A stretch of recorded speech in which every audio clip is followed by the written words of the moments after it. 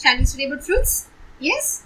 Uh, mango, orange, gooseberry, peach, pineapple, plum, pomegranate, dragon fruit, strawberry, sweet lime, waterapple, watermelon.